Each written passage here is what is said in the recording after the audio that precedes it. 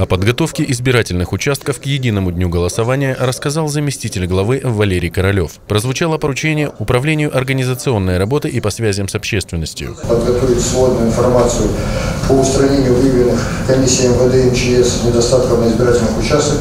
Срок для промежуточной информации 14 августа. Неналоговые поступления в бюджет стали основной темой выступления заместителя главы Светланы Яровой. На 1 января текущего года сумма задолженности по договорам аренды земельных участков составляла 166 миллионов рублей. По состоянию на 1 июля задолженность снижена на 22 миллиона. Также мы снизили задолженность прошлых лет за текущий период на 48 миллионов рублей.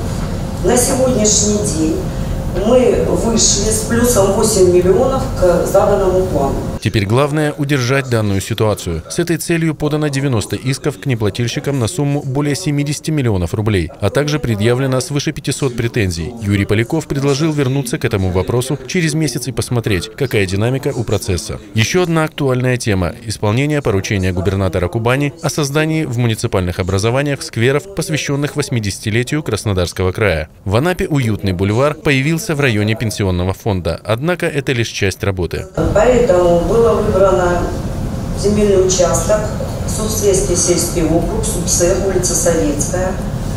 И на сегодняшний день э, мы завершаем оформление землеустроительной документации.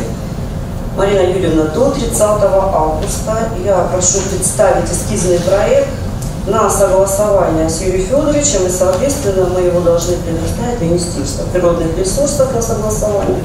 А сентябрь-октябрь уже будем думаю, реализовывать данное поручение. Вот э, по муниципальному образованию город курорт Анапа я бы хотел весь список скверов, там, зеленых зон, Зеленые зоны, да? насаждений. То есть я, я, я хочу его, как бы, чтобы вы мне рассказали, это здесь, это здесь, это здесь, вот карта еще, это здесь, это здесь. Это. И мы увидим с вами покрытие нашей земли асфальтом, бетоном, и где больше, где меньше, будем иметь Где понимание, внимание, да? где может надо где-то уделить какое-то внимание. Заместитель главы Людмила Мурашова поручила управлением образования и капитального строительства продолжить совместную работу по реализации социальных проектов в сфере образования. Речь идет и о строительстве пристройки к школе номер 6 и спортзала в 21-й школе станицы Анапской. Также у нас э, в двух детских садах в ближайшее время планируется привлечение инвесторов в строительстве групповых ячеек. Это детский сад номер 2 в Рассвете и детский сад номер 31 Суков. Курортный сезон продолжается. Идет и работа по выявлению несанкционированных аттракционов. Всего, Федорович, на территории муниципального образования выявлено э, 399 аттракционов, 310 аттракционов из них зарегистрированы.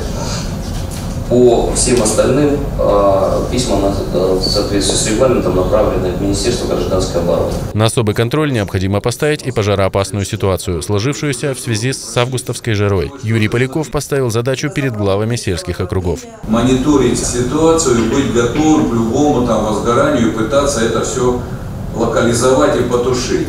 Очень э, такой ответственный момент в конце сезона, когда уже все высохло, такое сухое, там достаточно, грубо говоря, сигареты, окурка бросить и все.